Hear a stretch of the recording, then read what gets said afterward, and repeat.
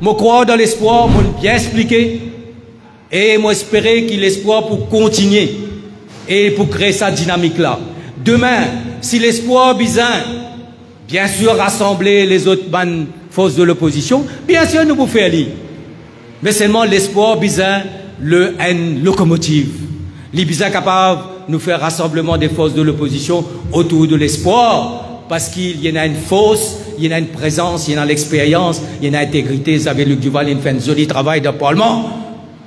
Paul Béranger, il fait un joli travail. Et aujourd'hui, l'état nous cause alternative, me très très fier pour dire qu'il nous est parmi nous une alternative. Quelqu'un qui est solide, quelqu'un qui peut tirer nous depuis dans sa marée noire, qui nous peut faire face. Et sa personne-là, c'est un seul du monde, c'est Nan Kumar, Nan De Boda, nos futurs premiers ministres, quelqu'un qui pourra rassembler nous.